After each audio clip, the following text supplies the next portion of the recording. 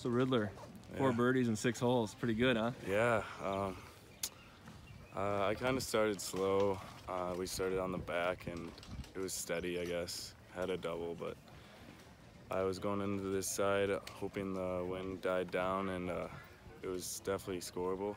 So I started out with two birdies on the side and then kept steady until hole seven and doubled, but finished out strong, What. What did you do on uh, on one to make birdie?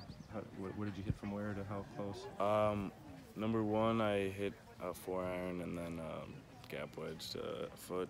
Really?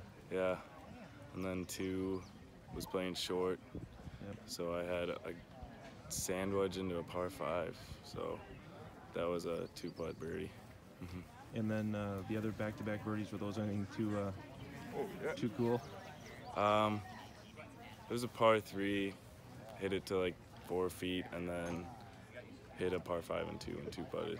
You pushed your tee shot on seven. Was that it?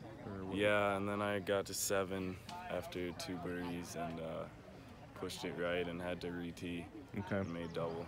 I did that twice today. Yeah. actually. Yeah. So all in all, you can't. I mean, especially given you know your history here.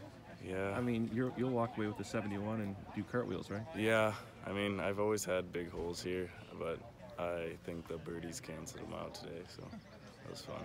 And last I checked, it was like a what was it, about a 22 shot lead or something like that. Yeah, nice healthy Oh. lead.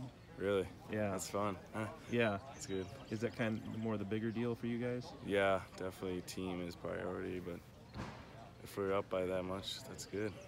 And what about your strategy for tomorrow, coming off a round like Um, today? kind of just stick to the plan. Same as always. We've played this course a lot, and uh, I'll probably just try to play it the same and get the team win. See Awesome. how I play.